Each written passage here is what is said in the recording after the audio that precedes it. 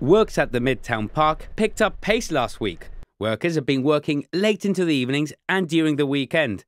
In response to GBC questions, the government says the contractor can adjust workers' hours to comply with their programme of works, without this affecting the contract cost. It says the contractor recently experienced delays breaking out the engine bases of the old King's Bastion generating station and also dealing with contaminated soil. Government told GBC the contractor had extended working hours last week in order to meet the needs of their programme of works. Last week, workers were seen on site until 8 in the evening. 30 workers were at the site on both Saturday and Sunday.